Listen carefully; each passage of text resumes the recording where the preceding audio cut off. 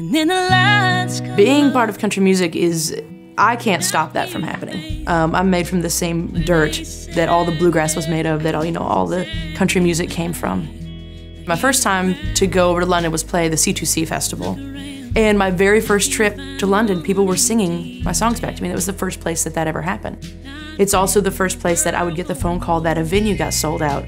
My first time in Amsterdam, a little bit of a language barrier there, but it didn't matter once it came to music. Everybody was locked in. One of the reasons I even play music at all is because music changed my life so much. So I do it because it did that for me and I need to do that for somebody else.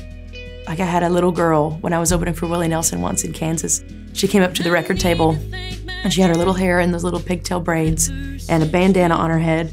And she said, I want to be a girl going nowhere. Just tears. Like, that's humongous. I didn't necessarily prep myself as a youngster for winning a Grammy, but I definitely prepped myself for being a nominee. because I was like, if I could just get nominated, if anyone named Grammy could even say my name, then that would be a big step for me. This is bucket list, marked off, childhood dream, check, done. Not a girl